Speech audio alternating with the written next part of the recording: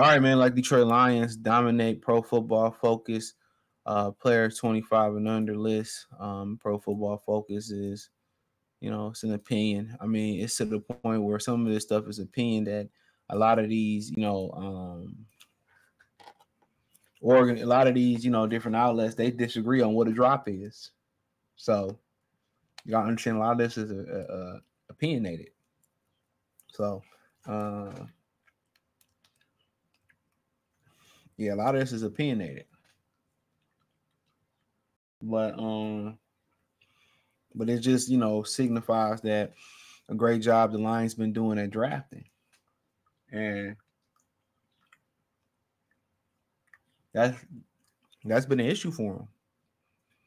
You know, throughout the years, I ain't whatever it was, just picking the wrong guy, lack of development, whatever it's been. But it's something that um Brad Holmes has been fairly successful with. So so far. And that's how you build that's how you build a, a, a championship organization because the best way to build is through the draft.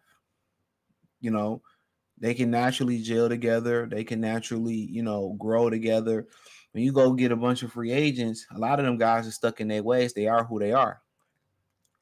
You know.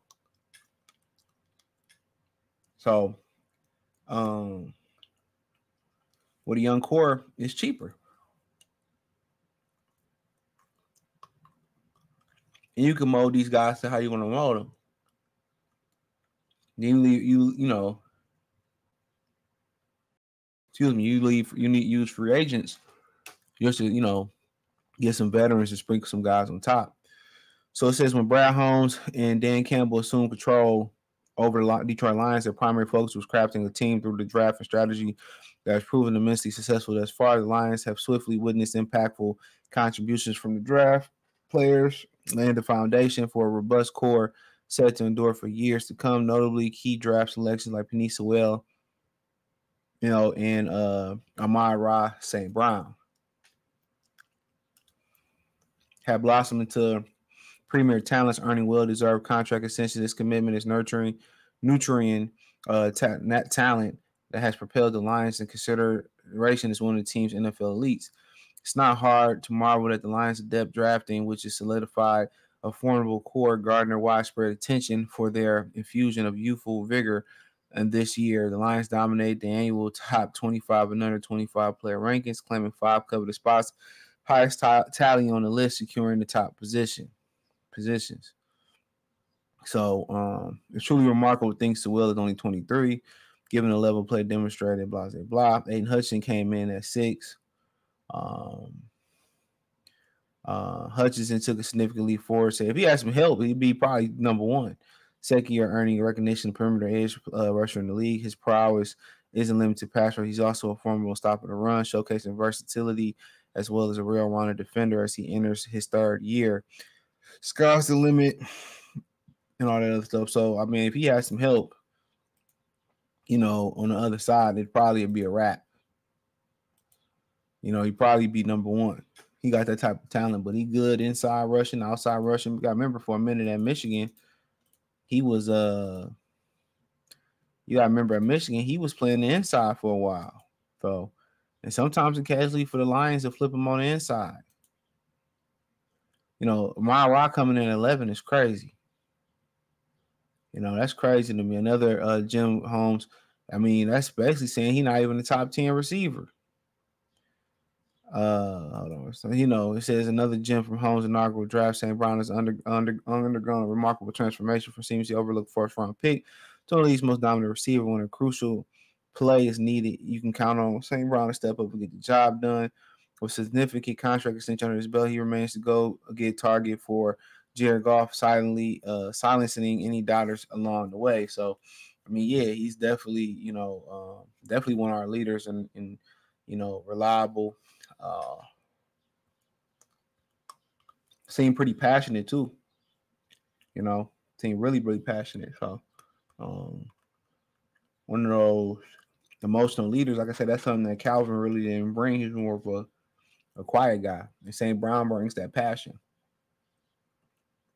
Um, kind of remind you of Golden Tate, just tough. You know, uh, the next step for him is just to dominate outside the hashes more. So let's keep it going. Um, Sam LaPorta at 19. I mean, you can make a case that I don't I ain't seen the entire list, but you can make a case, you know, he might be should be a little bit higher.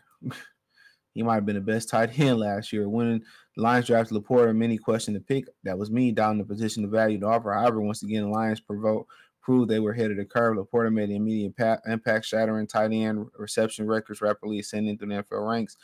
NFL's elite at his position as he enters the second year. He's aimed to sustain an upward trajectory, and yes, he is. Mm-hmm. Uh, you know, he a problem.